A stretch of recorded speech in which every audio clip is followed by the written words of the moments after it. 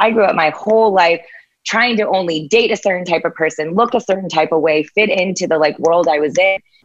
And it, as much as I don't care, you you care because it's Of this feeling of like course. it's your identity. It's it's it's who you are. It's where you come from, and so it's important for other people listening to hear their name, feeling like they can grow up in a world where they can proudly own their name. And I feel really excited that we're now in a world where being yourself is actually considered cool. And I hope I hope your daughter and son grow up in a world that um, you're actually encouraged and you can thrive and make it because you are different from everyone else.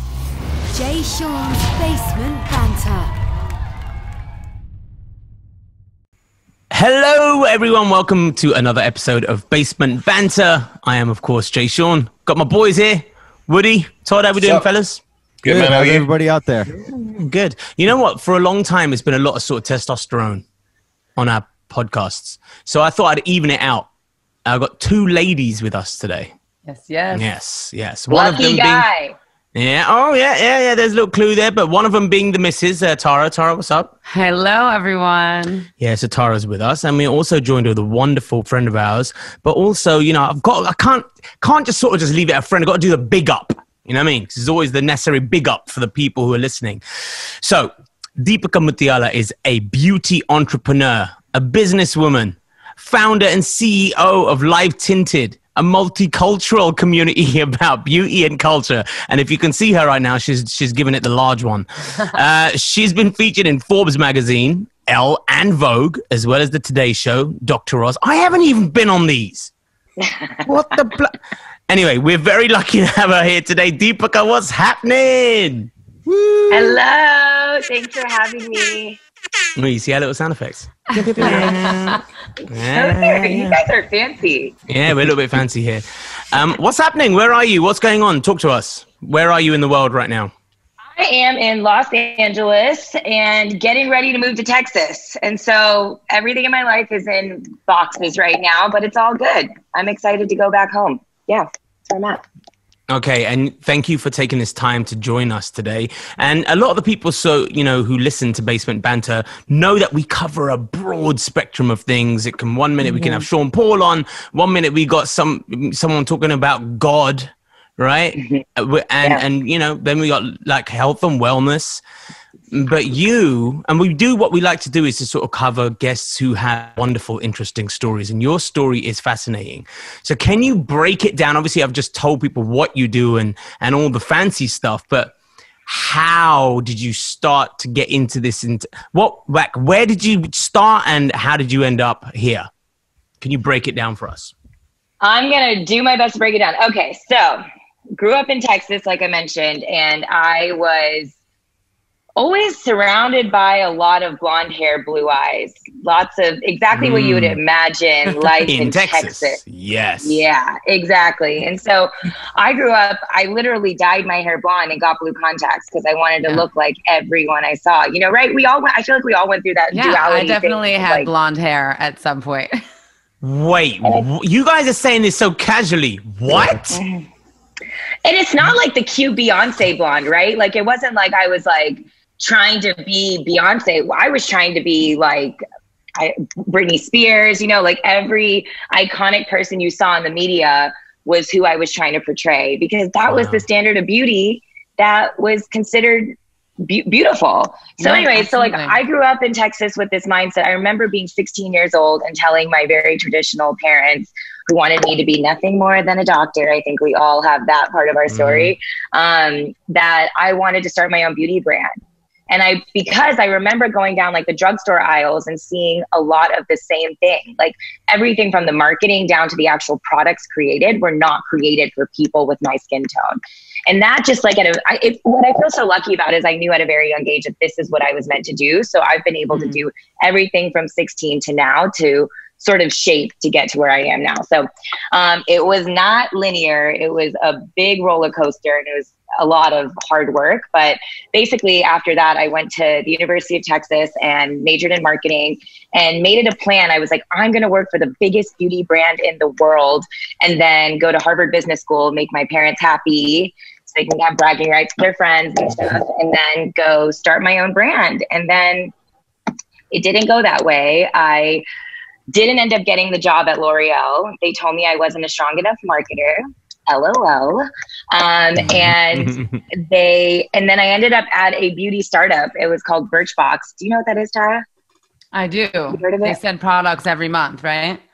Yeah. You So they were like the of and Exactly. Yeah. So they were probably the first brand or company to do like the subscription model where you get beauty samples sent to Mhm. your door based on like a beauty profile. And then after that, there was like BarkBox and all the different boxes, right? Um, anyway, so while I was there, that's when like this thing called an influencer started to rise and people were getting paid on that thing called YouTube to make videos. And it was like, I was just watching this all go down and I was like, damn, there's nobody who looks like me doing this. And what I realized was if I wanted to one day start my own beauty brand, like there was this sort of moment of like representation that needed to exist to show people who look like me how to use makeup. And so honestly, I didn't think much of it. In January of 2015, I picked up my iPhone, I held it vertically instead of horizontally, like the crappiest production ever, um, and filmed a video using red lipstick under my eyes to mask dark circles. And that video went viral and changed my entire life. It was Okay, Wow. let's just break down that moment for a second.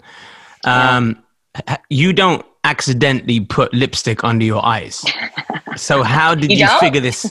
Nah, I mean, I probably would. Us guys probably would. That's sort of how much of an idea we have about makeup. But how did you? Uh, you didn't? Did you go to makeup school to understand those elements? That what takes what shade and cancels this and blah blah blah. Or did you just sort of trial and error? You know what? I because I've been so obsessed with me. I'm not a makeup artist by any means. Um, Right. That's a whole artistry on its own. But I was doing a lot of photo shoots when I was working at Birchbox, and one of the makeup artists used a product under my eyes that looked like a red lipstick, and I was like, Mhm. "What the fuck? Can we cuss on Mhm. this? I Yes, feel like you- we can." yeah, I was like, "What the fuck?" You fucking well Okay. Okay. Yes. I was like, what the fuck are you doing using a red lipstick underneath my eyes? And um, she was like, it's not, it's a color corrector. And I was like, well, what's the difference? Um, and so she basically was like, honestly, not much. And the reality is that nobody really knew about this because this is a beauty concern that's specific to people of color primarily. Mm. Like people with deeper skin tones more so suffer from hyperpigmentation and dark circles in the spectrum of things. Everyone has it, but more so. So it was never really prioritized by people to make it a category in space to create a product specifically for this need. Um, and so I'm all about like simplifying your beauty routine. So I was like, okay, well, if it's the same thing, I'm just going to do it. And so I just posted the video and I had no clue 10 million people would have their eyes on it. I mean, it was, it was Wow. wild. It was your Yeah. first video? It was my second video ever. I oh didn't have ad revenue activated. I was like, damn, I could have made some money off that video. I just, I didn't know. I didn't know what the hell I was doing. But I've got so many questions about that. So yeah, carry on, Okay. carry on. I was just gonna say, so like BuzzFeed picked it up, and I remember sitting at my desk at work, and somebody was like, "Holy shit, BuzzFeed just featured your video. You're gonna go viral." And in my brain, I was like, "Okay, yeah, this will be like a cool moment in my life. I can like, j- you know, laugh about it." I never would have thought that I would get an email from the Today Show. Literally, I remember that same day, and I quit my job that day.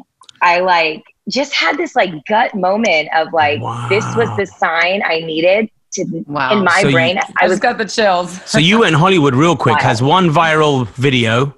I'm out, I was like, bitches. I'm I'm making Yeah. it. No, in my Listen, in I'm my famous head- now.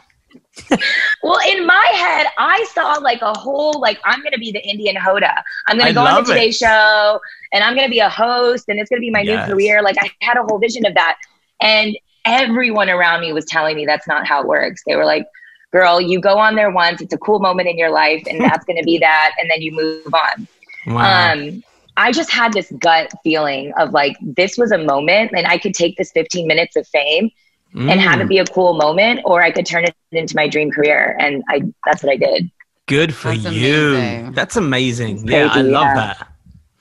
Um, uh, you can't plan to go viral. We we try a lot. We, we really we really try.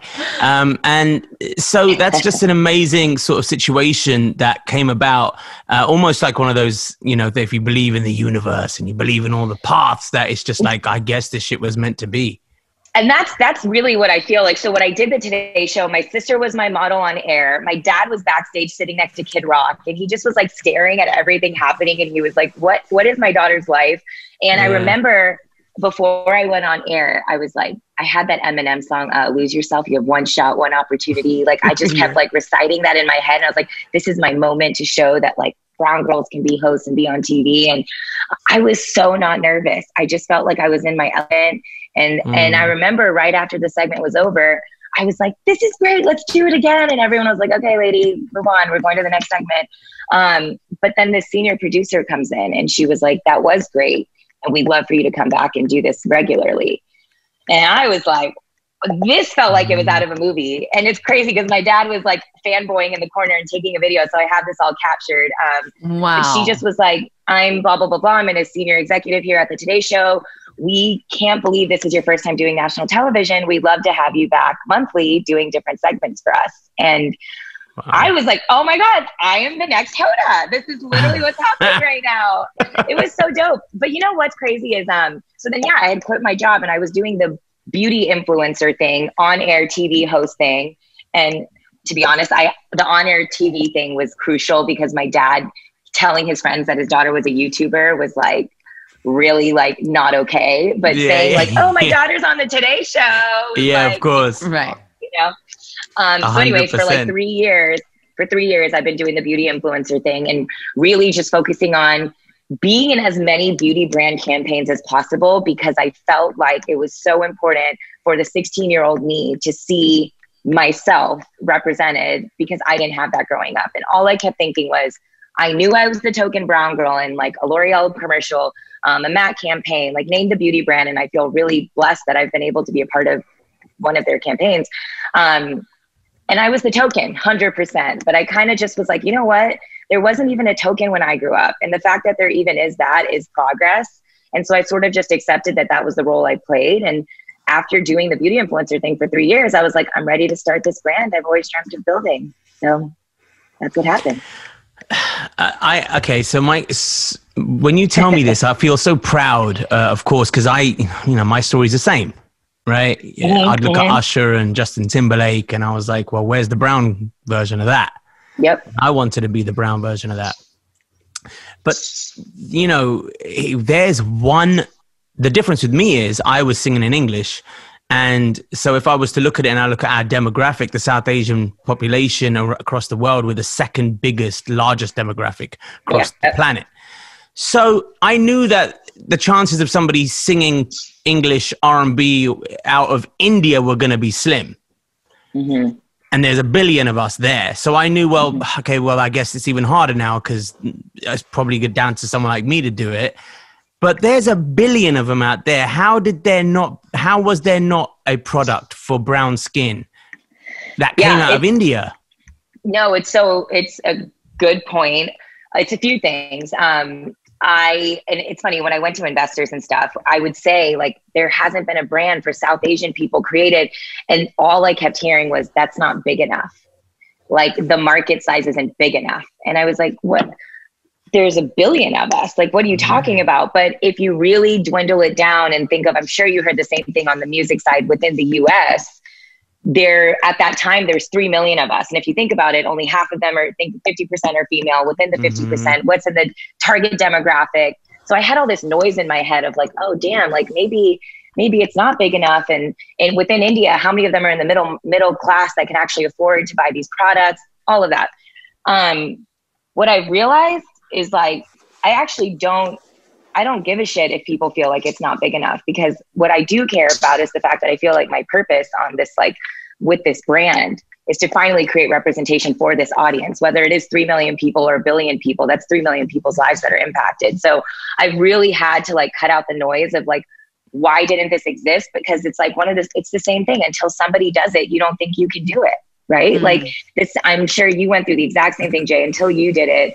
I can imagine that there was a ton of people who never thought in their wildest dreams that somebody could make it in that space. Mm, So I, I really think that's it. And the other side of it is within India, we're tr- so trained that fair is considered beautiful, even in India.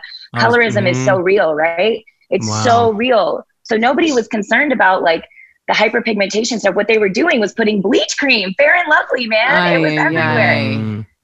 That's all So that, that- mattered. It's so fucked up. Yeah. So it was the other way around. It wasn't like let's make a product that fits our skin color. It's let's be a different skin color. Yes.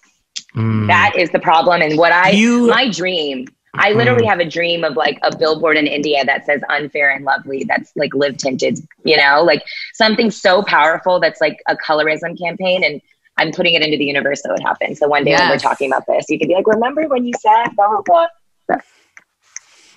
Do you have any products that can put color into people's like skin, like Adams? Because that could be the next sort of line. Do you tan? No, if I was any more white, I'd be clear. Oh my god. Clear and lovely. Yeah. if I take my shirt like- up, you can you can see my heartbeat like a little newborn baby fish. I'm just so Oh, curious, goodness. Thara. Like, Thara, did you avoid the sun growing up? Like, that was what I was told my whole life. Hide under the umbrella. Of course, if we're You know? we're not supposed to tan, our families don't want us to sit out in the sun. Um, Mhm. You know, I totally uh, am with you on the the hair. Like I said, I definitely had blonde hair for many years of my life. Um, I Mhm. also my ha- listen, my hair is not this straight naturally, right? My hair is Mhm. is curly naturally. It's not Mhm. super tight curls, but it's curly, it's wavy. And I I d- did not like my curly hair growing up because it made me different from all the other girls that I was growing up around. Right? We wanted mean- to fit. Exactly. And I, I just think it must really hit you now that you guys have daughter. Is it two daughters or one daughter? Two daughters. One, uh, mm, He one looks daughter, like- one son. Uh, Ari still looks a little bit like a girl. he He does. let his hair grow. like- The hair. got great I like hair. the long, the long hair. I wasn't sure about the young one. Okay, but your Yeah. daughter, your your daughter is just it, it. It must hit you in a different level, right? Like now mm-hmm. having a daughter, it's like so I want her to grow up in a world where she can do her and be her, right? Yes, one hundred percent. I but what I love that I noticed with her friends from about the age of like 3 Um, so a few years ago we noticed it. Um, she had a group of friends when we were living in Weehawken, and they had this beautiful group. They didn't even have to go to daycare; they would hang out every day. And one day they all came over. I think it was her birthday, and they were all sitting on the couch. And I took a photo, and I looked at them, and I had such a beautiful moment where I was like, "This looks like the United Colors of Benetton." Yeah, Like it was so beautiful, and love every it. single I love it. Every single one of the kids was mixed. hmm Four of them were mixed Indian, and I was just like, my heart was so happy. Because That was part of the origin of the name of Live Tinted, honestly, because I truly believe the whole world is going to be one big tinted race in the future. Oh, yeah. Like One hundred percent.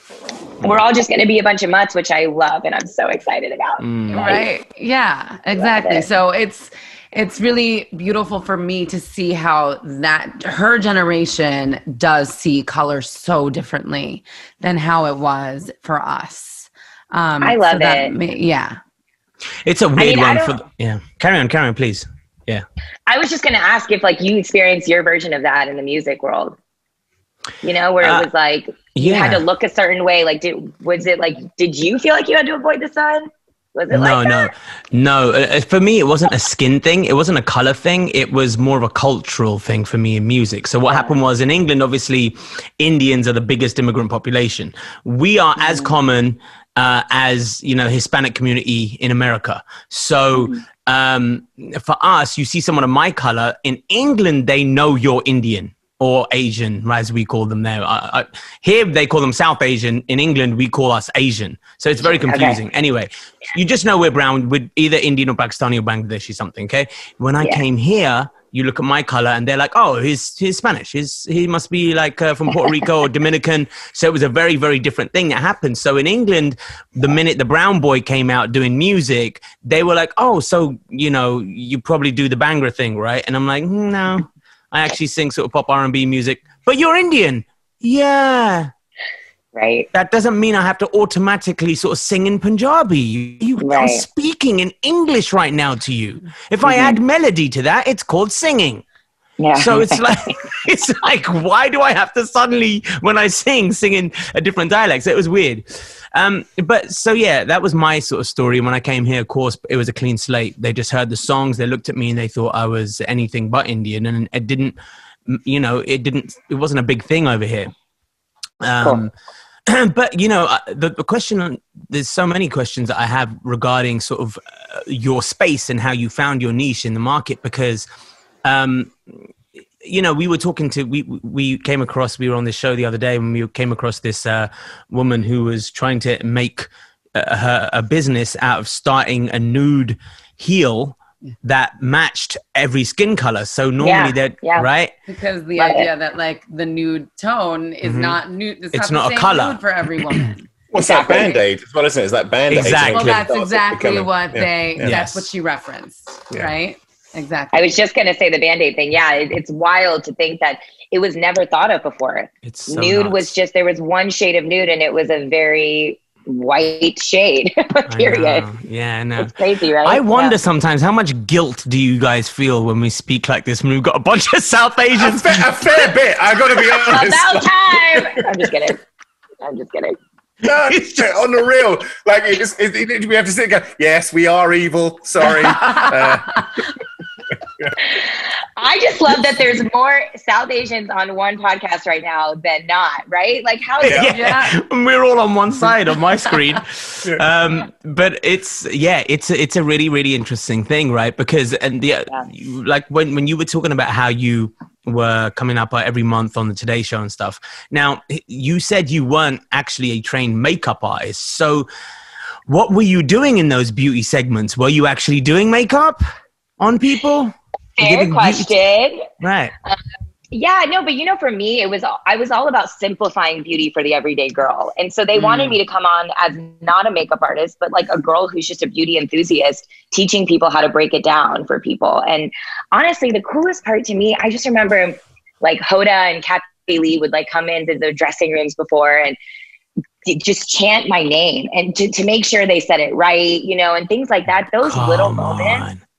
They just Wow. like th- those moments stick with you, right? Because it's like I I remember going on Dr. Oz and he called me like Deepika Matalia or something like that, and I was like, and it, it mm, as much as I don't care, you you care because it's Of this feeling of like Of it's your identity, it's it's it's who you are, it's where you come from, and so I make it a point now to make sure that anytime I do one of these Mhm. things, people say it right because it's it's Mhm. it's important for other people listening to hear their name feeling like they can grow up in a world where they can proudly own their name like i used to go by d instead of deepica you know, know. like I, I Mhm. always trying to be like somebody i really wasn't and i feel really excited that we're now in a world where being yourself is actually considered cool Mhm. and like it's like about time right because i grew up my whole life trying to only date a certain type of person look a certain type of way fit into the like world i was in and i hope i hope your daughter and son grow up in a world that um, you're actually encouraged and you can thrive and make it because you are different from everyone else which is exciting Yeah. Yeah, no, absolutely. It's really funny. Like, you know, my parent, my grandparents will all, I always remember this story fondly. My granddad, I'm sure it's the same for you, your, for your ancestors and your grandparents. When they came over from England, my granddad had a turban. So to get even a job working in a factory packing sausages, he- he had to cut his hair because he just looked too different. And they were like, we're not going to, what do you mean? We're going to give you a job. Not only that, shave his face, change his name because they couldn't pronounce Jeevan. Yeah. His name is Jeevan. Wow. How much Yeah, easier it- is it? it gets way harder It gets hard. Yeah. Right. Right, exactly.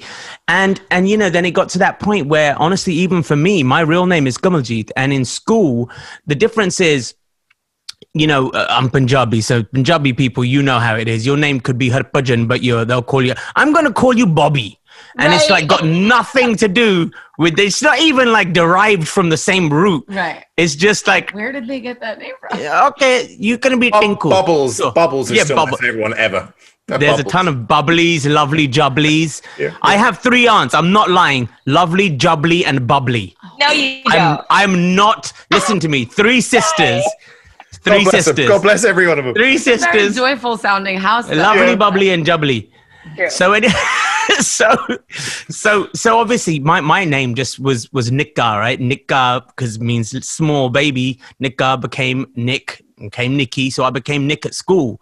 And it was one of those situations where I felt you would never I think to have that moment now would be so so different to where back then it was so accepted that because mm-hmm. the kids couldn't say my birth name properly kamaljit mm-hmm. or they Right. thought it would be funny to call me camel shit because that's just completely fine to call me the shit of a camel uh, which i actually did scar me for a while Yeah. at the time i mean now i look at it and it's quite funny but um, to me obviously as a grown man but but back then it's scarring and so it's like no we're gonna go we had to have a meeting he's now gonna be called nick at school Wow. right? And now you imagine that kind of shit going down now. It, would- I don't think it would be that way. It would be like, no, motherfuckers, you learn to pronounce his name. I used to dread the first know. day of school because Yeah.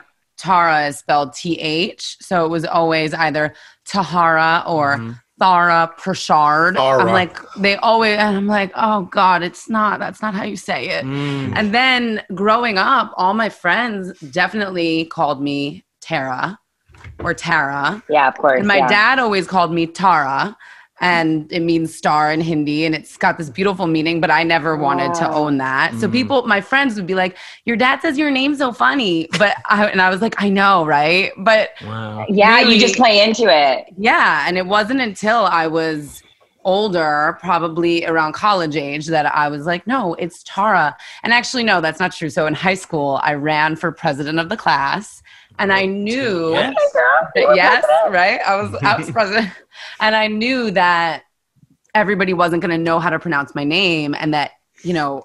So my campaign was it's Tara with an H because I'm hungry for your votes. Oh my Yes, yes. I love that. Hey, Way how long did it take to next- I count those votes? yeah. oh, Speaking of which, see, told you. Todd, Todd, Todd, comes. Todd, Todd Todd. comes in with the fire once in a while. That was good. That was um, good. But yeah, so I mean, it's it's so nice to now love my name, and I'm so grateful to my parents for making my name unique. And and then I did the same thing. We did the same thing to Ava. We decided to add the Y to her name. So the thing that like I hated growing up, we now did to Ava as well, making it A Y. But the time is different now to where like people will we have a president that was named Barack Obama. Like, you know, it's just things are different now. People have realized it's just like I I the same way you had people calling you what the the shit thing. Like I was Mm. Deepica Creepika. You make me want to pukika. oh my god. Jesus. It's fine. That girl is like living at home right now, and it's like it- Yes. Yeah. it's fine. Mm. Um, but what's really cool is I think that I, idea of incorporating and being proud of your culture and where you come from is such a big part of what I want to do with my brand and Live Tinted. It's like Mm. I have never seen a beauty brand embrace where people actually come from. They're always training and marketing people to believe in the brand's identity, not their own Mm. identity. And so what I really wanted to do with Live Tinted was it's not like when we launched, it wasn't about a physical product. We launched as a community platform talking about beauty issues like colorism, girls with facial hair. I Jay, did you ever make fun? Did you ever make fun of a girl for having a mustache? Jay Listen, Sean, I was no, I actually didn't. You know what? I was going to talk to you about this. Is exactly what I. When you were talking about bleaching the skin, I didn't want to interrupt you, but it works for white girls because your your hair will go blonde and kind of sort of just sit there in the mix. Yeah.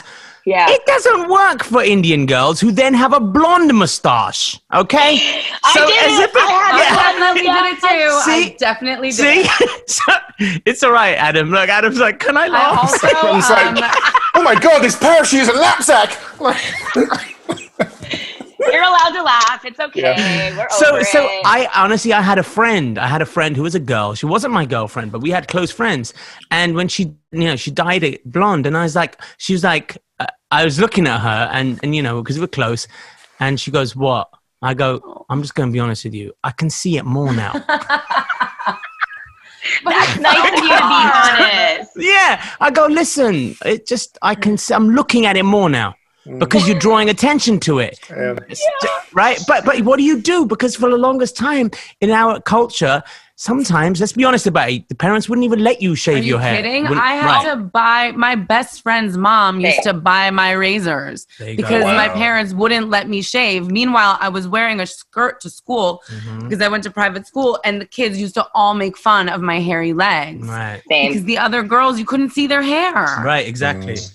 Don't do that to your daughter, girl. Let her No. take care of what she's got to take care of. no, and those are the lessons learned. And of course, now my mom, you know, I, I forgive her, but you know, she has her moments where she feels sorry that it was such a, you know, it's very traumatic. Kids are so I mean. mean, kids can, People yeah, are, and boy, right? You're also just trying to figure out like who you are and you want the attention from guys. And I remember, I remember this guy said to me, it's crazy, right? That I still think I like talked to my therapist about this. I was like, man, this guy told me, he was like, you're so mature. You're so mature that you're growing a mustache. And I was like, That's so, and it's so scarring, right? It was like, anyways, I just think all of those things now are Mm. things are shifting, beauty standards are changing, and I just wanted to be creating a brand that actually was leading the charge and people embracing where they come from. And so to me, the physical products we create are important because that's that's how we're a business. But what I get excited about and what like, you know, when I think about like the footprint I want to leave in the sand, and I, I, I'm sure you both also think about this for your own careers. It's like I, I want to be remembered as somebody who helped change that narrative for the next generation, where they feel proud of where they came from. They embrace their, their roots. They see their skin tone as a part of their identity that comes from their roots. And, you know, even our first pro- party, I invited you, Thara, but you weren't in town. We did a Holi themed party, and I was so proud of that, right? Like, I've been told to not be too Indian, not too American, and that Mm. duality of life. Like, I just said, fuck it. This is my brand. There is no rules. I make the Mm. rules. And so I was like, what do I want to celebrate? And I wanted to proudly celebrate Holi. And I think we have such beautiful things a part of our culture. Like, it's meant to be celebrated. of course. And, but like, you know what I mean? Like, our whole lives, we were told that, like, be Indian, but not too Indian. Be American, but don't be Yeah. too. It's like Yeah, this weird, course. you're just It confused. It is weird. I'm really glad that we're we're talking about this kind of stuff because it, it's real, it's real shit.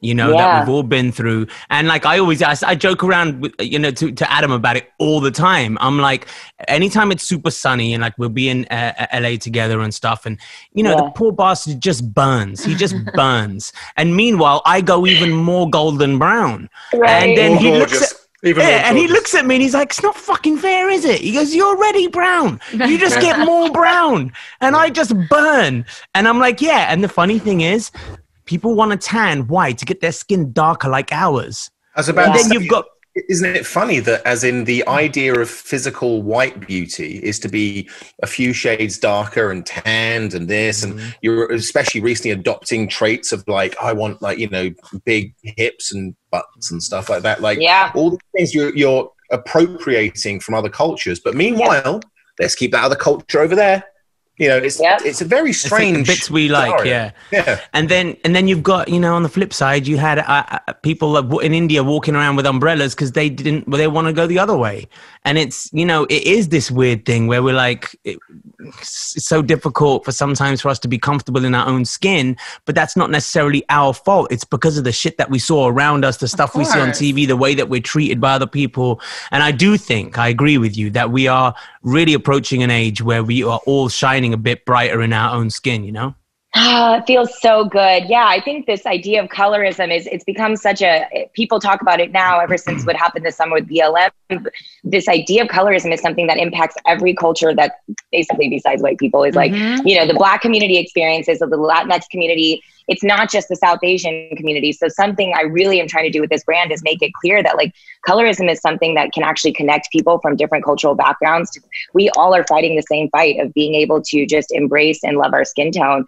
And for every campaign we do, I'm always trying to feature people of color that are on the deeper end of the spectrum as much as mm-hmm. possible because that was never shown, man. Like that's it's so crazy to me. And I think that it's just that skin tone is just so beautiful. But we need to we need to remind people of that. Unfortunately, right? Like the media really does determine people's like value, which is so Mm. shitty, but so true. Which by the way, I could talk about mental health all day because I was just Damn. about to touch on that because Yeah, uh, go on. it's something that um, you became very quickly a an influencer, a YouTuber, as Yeah. it were, and it does open you up to a vast vat of trolls and, and horrible comments and people.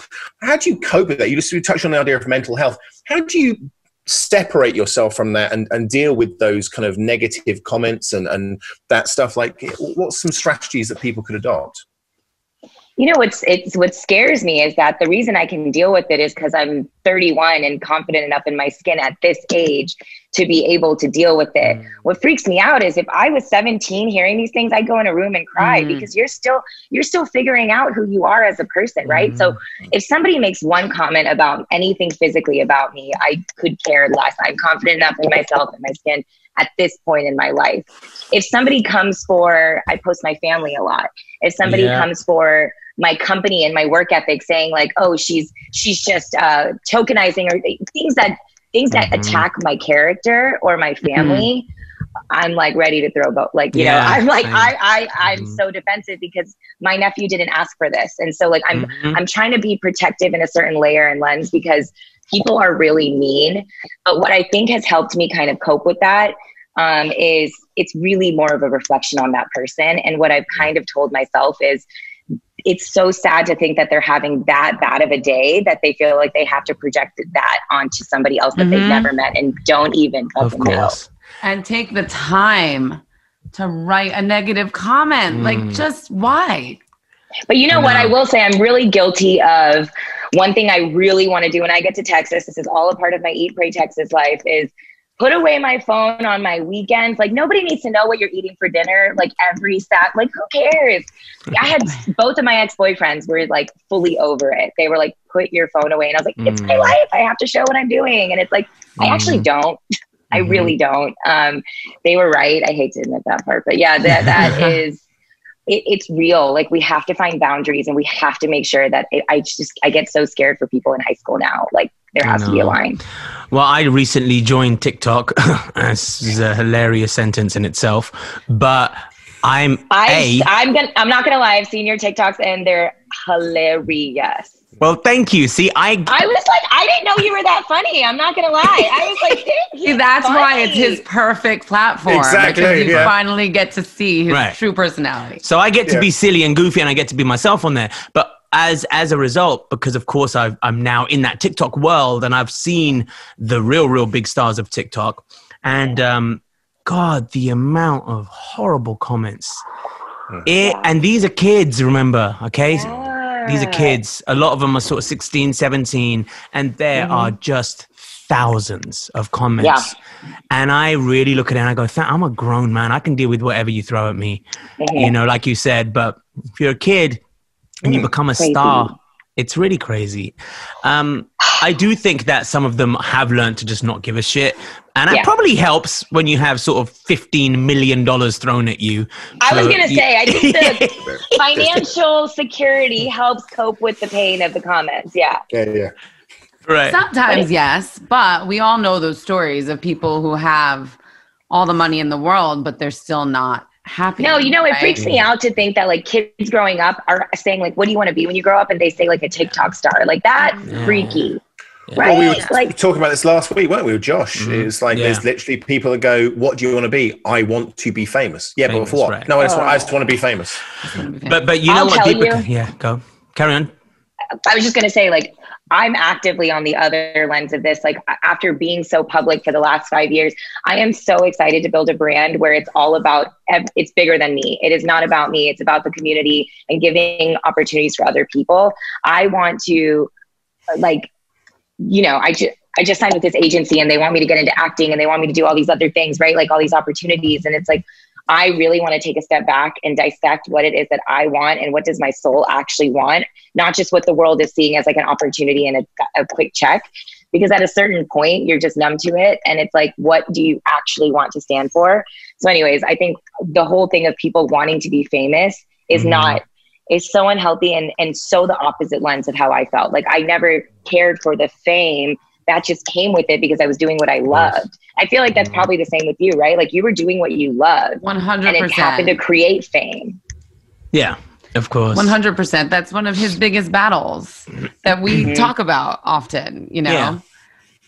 She's like, you don't want to play the game because you don't care for the fame part of it. Yeah. yeah. I'm like, but if you want to, you It have to play the game if You're you in this be, industry, you know. right? Like you, you want to go to this. like there'll be how many times are you're told, "Oh, there's this event," you know, just show up. Uh, why? Oh, yeah, exactly. I want to go to bed. I I'm not gonna lie. In the beginning, the first few red carpets, I was like, oh my god, this is the life. I was like figuring out my poses and like all the, you know, whatever.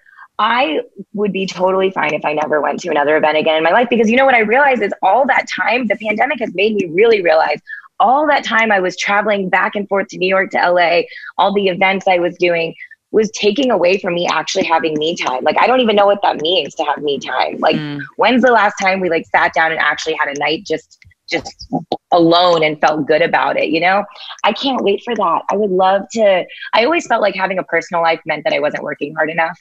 Like I always felt like my work Mm, Mm. in my brain like you it's just a part of it you have to hustle you have to grind having putting your profession before everything is what you do you know and now i'm like okay the only way my team is going to be sane is if i'm sane mhm. and i'm not that sane right now so i got to figure out Mm. like how Right. to disconnect a bit you know yeah. To that end, actually, you kind of touched upon it a little bit there, but it's a question I'd like to ask. You moved to LA, obviously, ostensibly to move yeah, elements of your career forward. And now, because of your, we're all starting to realize that we don't have to be in these grand metropolitan arenas and paying stupid amounts of rent and all kind of crazy shit that we do to be in these, these places to keep Yeah. our careers going. What made you move to LA in the first place? And for entrepreneurs coming up behind you, if you were to give them an inspiration of why you can still achieve elements uh, of your career by moving to say Texas or be wherever you are, does that apply to younger people coming up, or is that we have to get yourself to a certain place before you can basically have that life where I'm going to step back, I'm going to be over here now, and if you need me, I'm doing this. Like, do you Mhm. need to be in these New York, LA hubs, or London, or Paris, or is the the, the world changing? I truly believe with the digital world we live in, you can make your dreams reality from anywhere in the world. And that is such a like dope feeling because growing up in Texas, I felt like I was bigger than Texas. I was like, I got to go to NYU and go to New York City and be an Indian Carrie Bradshaw and just like frolic around. That's some Sex and the City reference. I don't know if boys on here know Yes. that. Um, but um, Thara like that one. yeah yeah okay so i that was like the dream and then i get to new york and i i grinded for five years my dream of dream was to be at the met gala red carpet doing interviews for celebrities like that's what i thought i was like my thing and then i did Mhm. it for the today show and i was like i I went home that night, and this is getting really kind of deep, but like I went home that night and I was like crying, and it wasn't Mhm. happy tears. It was this like feeling of like, Deepica, this is what you wanted, and you just did it, but you still feel so empty and alone. And I felt like I had achieved my ultimate dream of New York. And I just realized I was going through levels of depression. And I moved home to Texas for a month. Mm. And I like had a reset. I, you know, my dad would make me dosas every morning. We walked around the lake and we would just have conversations. And he was like, You just don't seem happy. And on the outside, everyone was looking at like, I was thriving, right? Like I was just then, I signed like a year long contract with L'Oreal and this Matt campaign and things that I dreamt of. But I was so so sad. And it, it's weird how like it, and and it, it didn't make sense because like on the surface level all of it was fine. But you know i was going through a breakup and i just was really down. So i moved home. And basically when i moved home that month i was like i need a fresh new start.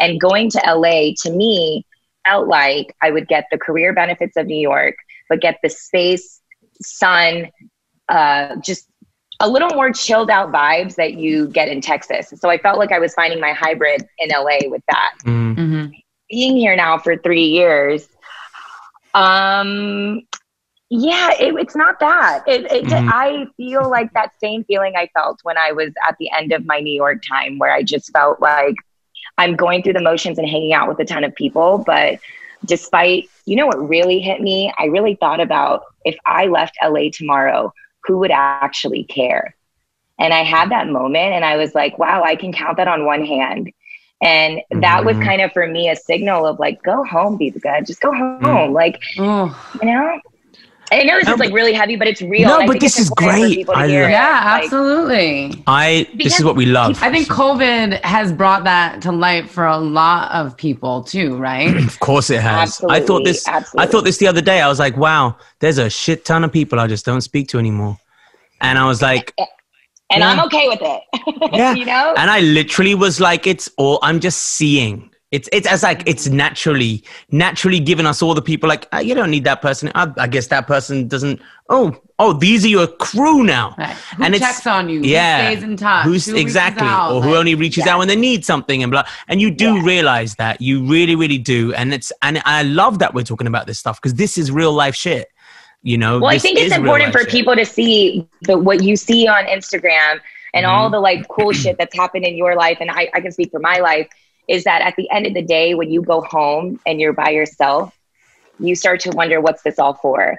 Like I haven't prioritized. I haven't been on a date in freaking years. It's just all been work, work, work, and I never cared. Which goes into what um, Thara we were talking about, like freezing my eggs and like recognizing that like it's not going to happen anytime soon. But there's nothing I want more than a family.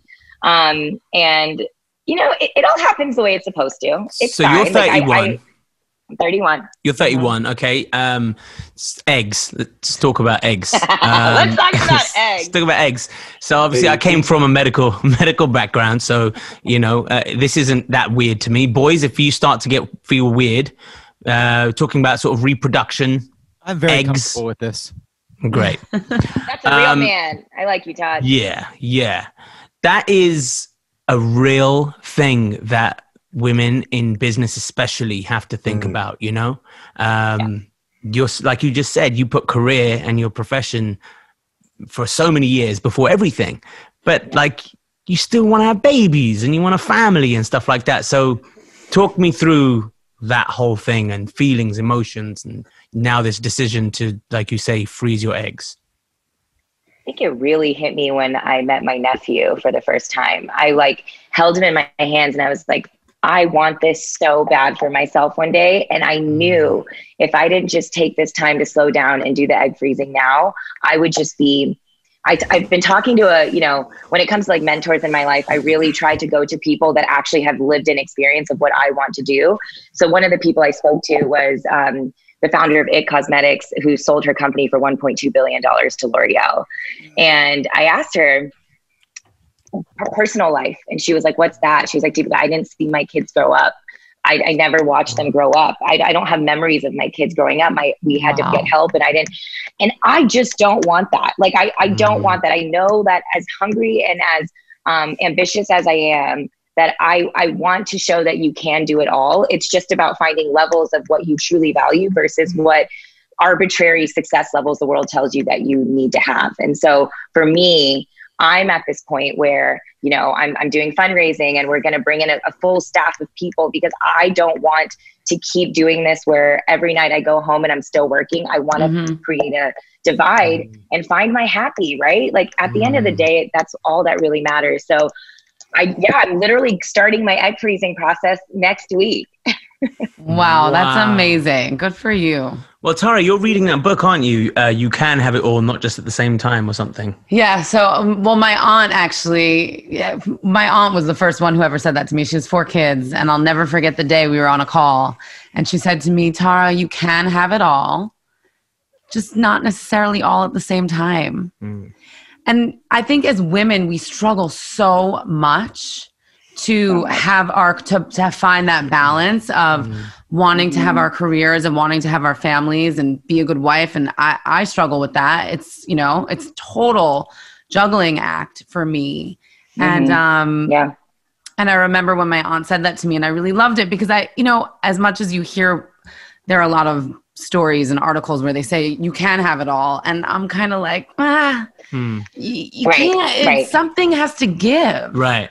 Something is gonna suffer. Mhm. So you do. It's good to choose times and go. Okay, this is gonna be my focus right now, and I'm gonna focus on my career. Like right now, people um, will ask me about my businesses and if I want to have another, you know, uh, do you want to have another baby? And I'm like, well, that's a different, that's a conversation between the two of us, obviously, first and foremost. But I always, but no, but I always say right now, I can't even think about that because I just started a new business. And I have my other business that basically has started from scratch because of COVID. So I'm like, I have basically two baby businesses that I'm building. So as a woman, I know that I cannot possibly think about that at this time, right? I have to be everything that I can for the two that I have. And then I've got to take care of my businesses.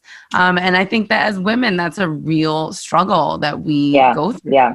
You know, and I think because of that, and I see what an amazing mom you are and how much you give to your children, I just know that I can't be that right now because right now my Mm. baby is my company, and Right. I and I have very specific goals for this company before I can feel like I'm ready to be a mom. Because when I'm a mom, I want to be present. I want to be there. I want to. yeah. I, want to I want to witness I don't know all those moments and stuff. So I'm I'm I, everything is chapters of life, right? And I think that that's Yeah. okay and that's a beautiful thing. And I I'm not gonna lie, I get a little anxious about going back to Texas because I feel like oh am, am I like going Mhm. back home? Is is things are things gonna just go back to like normal? Is I don't know. I don't. But I kind of feel like we have this 2021 is a year where things are not going to be like normal. So like embrace it and create a new normal is kind of my mindset. Can I ask Talking you of your goals, sorry. Okay. yeah, just, just, just on. on, No, no, on no, that you go, topic yeah. is just uh, to that end, you know, you, Thara, you know, you are a, a, a mother of two. You have, you say, multiple businesses that you're building up. You know, Deepica, you are, you know, make you have your business and you're taking steps to ensure you have the life you want to live, you know, later on, but still take care of, you know, your business child, Yeah. as it were, right there. If you were to give both of you individually uh, like a, a statement of advice or a, a plan for especially for girls in your community uh, you know strategically which is very much kind of like either you become an academic or a cleric or a lawyer or a doctor or you become a housewife and you basically have kids and you just like what was something that you wish you could have told your 20 year old selves both of you like what would you have said you know to further that aim Hmm. I mean, for me, it's very it's very easy to say because I felt like I could be the first to do something, and I think a lot of people when they're 20, because they haven't seen it done before, feel like they can't do it. So some a lot of people, you know, go be a lawyer if you want to be a lawyer, be a doctor if you want to be a doctor, but don't do it because you feel like you have to do it, whether it's because of your parents, because you've never seen it done, so you feel like you couldn't be the first ballerina that you know uh, performs it, you know, whatever it is. Like I, you should fully feel like you can do anything you want to do and you can be the first. Like ask yourself that question, why not me? Um, and that's what I did. I was like, I can be the first South Asian woman to build a multi, you know, whatever beauty brand that changes the world. I, I really believed that to my core and I've spoken into existence and I'm a full believer of manifestation. So if I was telling a 20 year old girl, I would say like, you, you can do this. And just like, it's, it's this I, to be honest, sometimes I wake up and I look in the mirror and I tell myself like you're fearless, like be fearless because that kind of mantra in my own brain, um, you that confidence exudes in the room. So everyone else around you Mm. starts to feel like, damn, she she she got this. She could be Yeah, the first. She actually could be the person I would Mhm. invest in to do this first. Um, and so I think it's just important for girls to realize like just because it hasn't been done doesn't mean that they can't be the first to Mm. do it. No, I love that. Yeah. I, I really do, and, and cl- clearly you have shitloads of personality. That's that's become like apparent just in this short time we've been talking to you. And like you said, that does really speak volumes when you walk into a room of influential people. You can have all the best ideas in the world, right? But sometimes people just close up because I don't know the story they've Mhm. told themselves or the story they've been told by their parents. Shh, Yeah. don't speak Mhm. until it's- you know, Yeah. don't, this is not your place to speak, or blah blah blah. All those kind of things that we're told. Mhm. Yeah. I think um, the other thing, like with the egg freezing stuff, like I feel very Yeah, oh fortunate yeah, that- eggs. Yeah. That eggs, yes, eggs Sorry, and I got we got off the eggs. Yeah, yeah, yeah. well, no, th- I just wanted to say this because I think uh, when I did publicly say I was freezing my eggs, the amount of what girls who were just like, "Thank you so much for saying you're doing this," because I have absolutely been. There's a stigma behind it of you can't do that. Mm. When I first told my parents, they were freaked out because they were like, "That means you're not going to have babies soon," and I was like, Mm. "That is what that means." Yes. Right, right.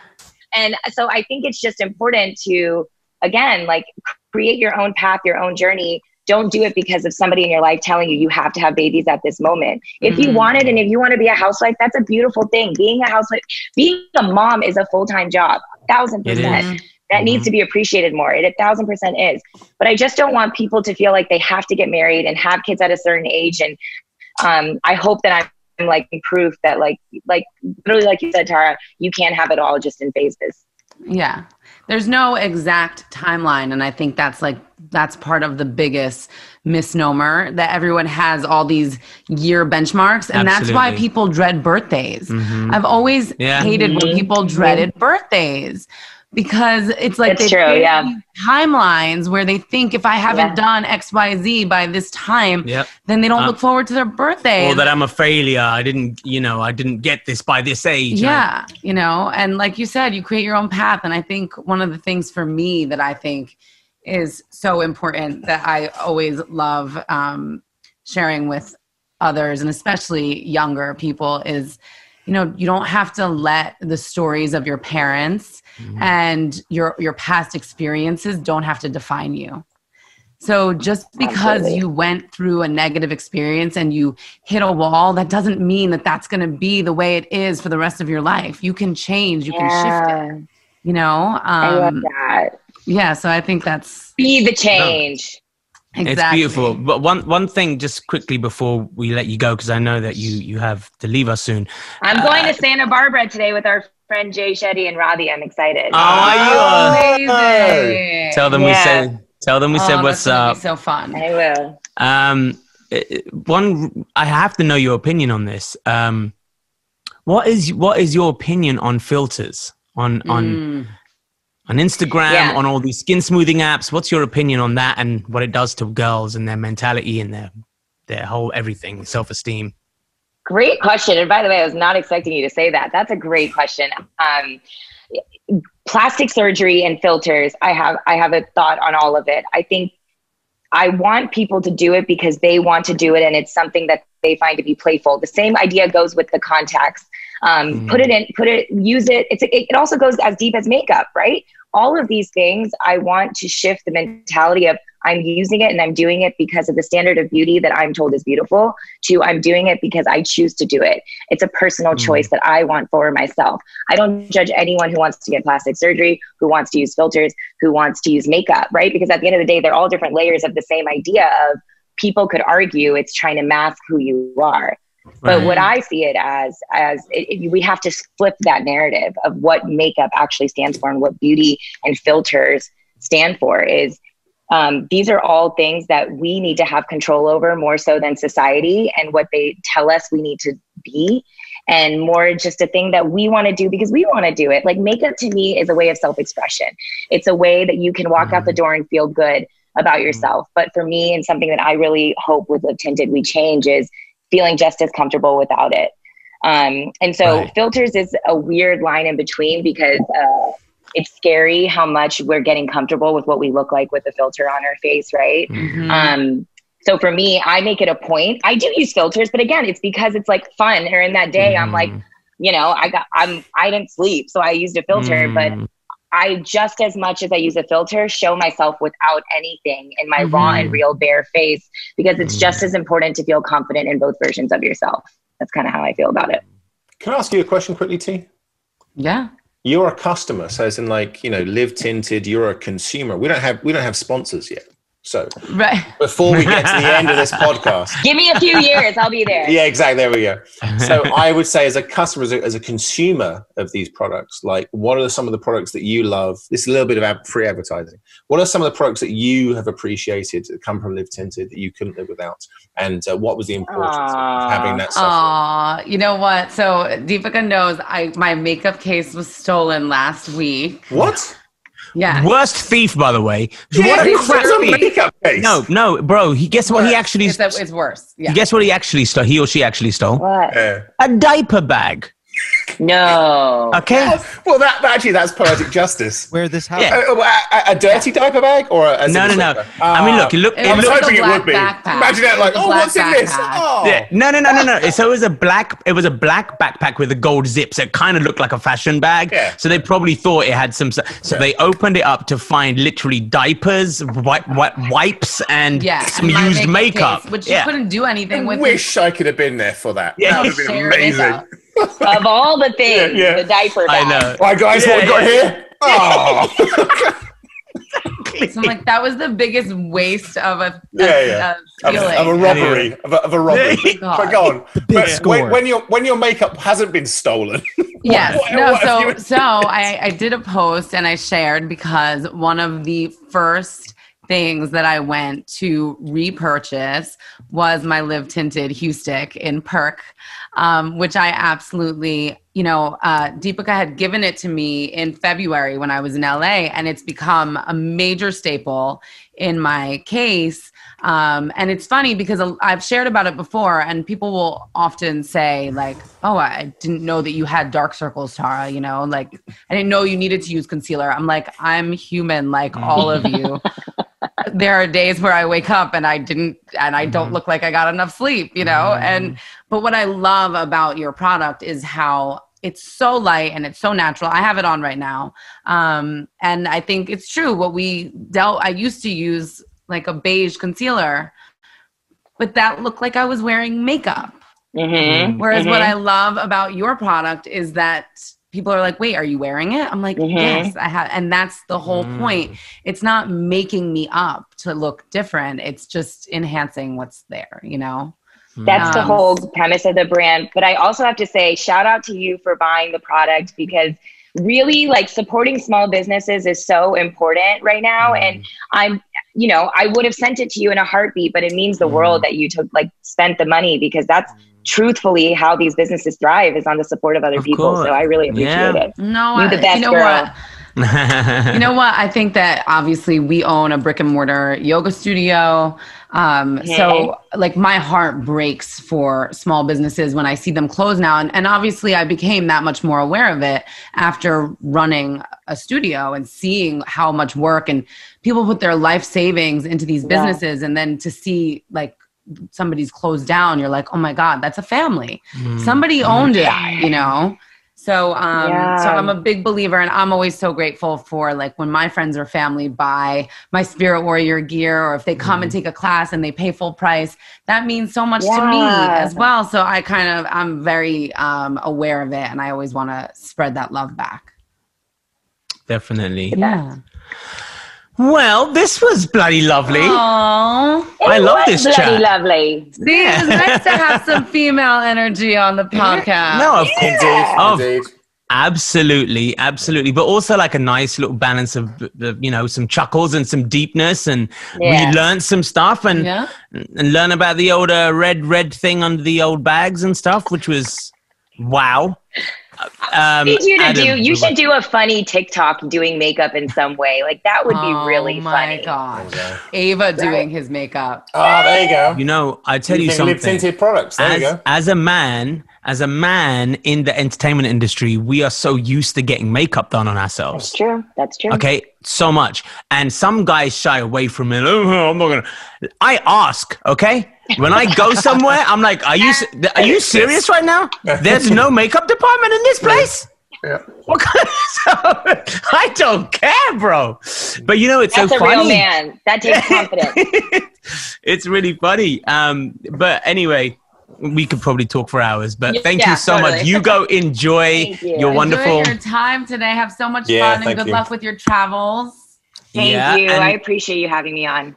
Absolutely, man. It's been so so nice. And also, obviously, just before we go, can you you know give give your shout outs of where people can see your stuff and buy your stuff and all the good stuff. Yes, livetinted.com, L I V E T I N T E D. That's all I really care about. Livetinted.com.